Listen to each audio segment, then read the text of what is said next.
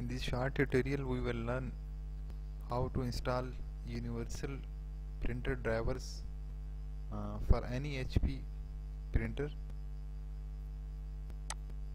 Here we are installing, we have downloaded the HP Universal Printer Driver PLC 5 6.1 uh, depending on your system whether it's 64 bit or 32 bit.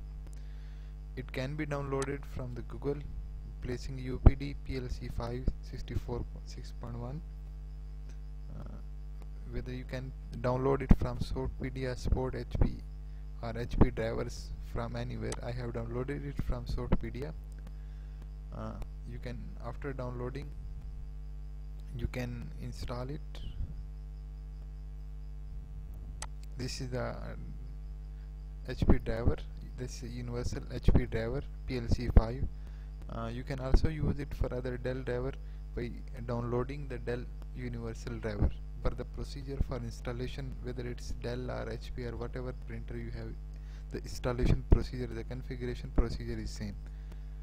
Uh, it's it's for HP universal uh, driver universal printer driver. First of all unzip it.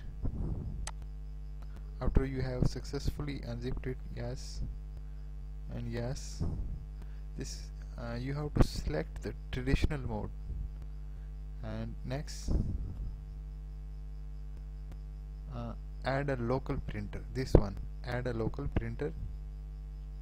And this is very important to select the port on which use existing port and then select this one US virtual printer port for USB this one this one is important. This one virtual printer port for USB next. And then you have to select HP universal printing PLC 5 this is this is the driver that we have uh, downloaded already when installing it. Next. Next.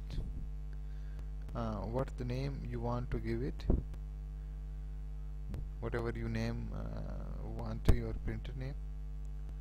And next it's installing the printer after installation the printer you can use it. Uh, you can also give a if you want to share it well, suppose I am not sharing it you can also mm, set it as a default product. You can print a test page. Uh, thank you for watching the video.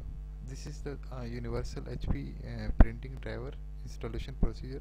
You can also use for Dell or whatever printer you have but mostly in the market HP printer as well. That's why I'm uh, configuring it for HP but if you have downloaded you download the Dell universal printing driver then you procedure of installation is same. Thank you